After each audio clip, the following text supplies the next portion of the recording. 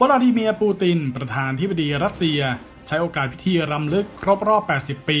ที่สหภาพโซเวียต มีชัยชนะเหนือกองทัพนาซี ในสมรภูมิสตาลินกราด ปลุกใจกองทัพรัสเซีย ในสถานการณ์ที่กำลังใช้ปฏิบัติการพิเศษทางทหารต่อยูเครน โดยอ้างว่าเป็นอีกครั้งที่ถูกบีบให้ต้องขับไล่ การรวมกันรุกรานของตะวันตก และมันไม่น่าเชื่อว่า รัสเซียถูกคุกคามโดยรถถังแรปเพิดของเยอรมนีอีกแล้ว แต่ก็ยืนยันว่ากองทัพ พร้อมเดินหน้าสู้ต่อ จนกว่าจะถึงจุดจบ รัสเซียไม่ได้ส่งรถถังเข้าไปในดินแดนของพวกเขา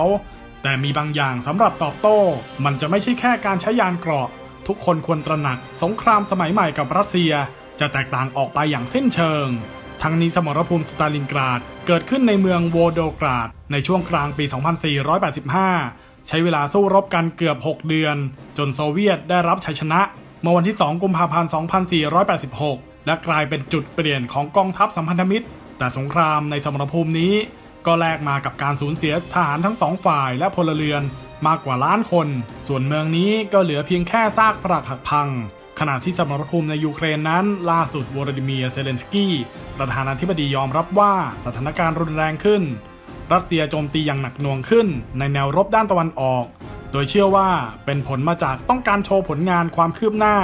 หนึ่งในโอกาสครบรอบหนึ่งปีของการรุกรานยูเครน สอดคล้องกับกองทัพยูเครนที่ยืนยันว่า เมืองบักมุดแอฟริกา มารินกา รวมทั้งคามาตอก ถูกรัสเซียโจมตีอย่างหนัก ส่วนทางโอเล็กซีและนิคอฟ รัฐมนตรีว่าการกระทรวงกลาโหมก็ปูดว่า รัสเซียกำลังระดมทหารราว 5 0 0แสนนาย เพื่อเปิดศึกครั้งใหญ่ในช่วงวันที่ 24 กุมภาพันธ์นี้ พร้อมเรียกร้องอาวุธจากพันธมิตรโดยเร็วที่สุด และเชื่อมั่นว่า ปีนี้สามารถเป็นปีแห่งชัยชนะทางทหาร โดยก่อนหน้านี้ทางยูเครนได้พยายามขอตะวันตก จัดหาเครื่องบินขับไล่ให้แก่กองทัพ แต่ทว่าล่าสุดเบนวอลเลตรัฐมนตรีว่าการกระทรวงกลาโหมสหราชอาณาจักรได้ยอมรับว่า ไม่มีไม้กายสิทธิ์ในความขัดแย้งอันน่าสยดสยอง โดยไม่ได้ปฏิเสธอย่างชัดเจนถึงการส่งมอบเครื่องบินรบ แต่ก็ชี้ว่ายังไม่ใช่สิ่งจำเป็นสำหรับยูเครนในเวลานี้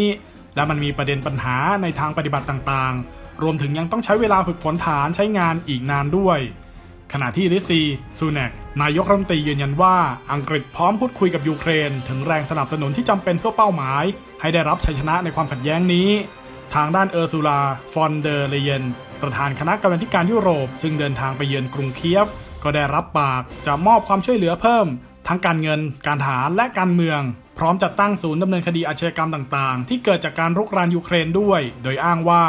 นี่คือการต่อสู้ของประชาธิปไตยกับรัฐบาลเผด็จการ ส่วนทางสหรัฐอเมริกาก็มีรายงานว่า เตรียมจัดแพ็กเกจช่วยเหลือทางทหารครั้งใหม่ให้แก่ยูเครนอีก 2,200 ล้านดอลลาร์สหรัฐ ซึ่งอาจรวมถึงการส่งมอบจรวดพิสัยไกลให้เป็นครั้งแรก นั่นทำให้รัสเซียออกมาจวกว่า การส่งมอบจรวดนี้ รังแต่จะทำให้ความขัดแย้งลุกลามขึ้น ขณะที่เซียเกลาฟรอฟรัฐมนตรีว่าการกระทรวงการต่างประเทศรัสเซียประกาศว่าจะตอบโต้ด้วยการผลักดันกองทัพยูเครน ถอยร่นจากชายแดนเพื่อสร้างเขตกันชน จนไม่เป็นภัยคุกคามต่อดินแดนรัสเซีย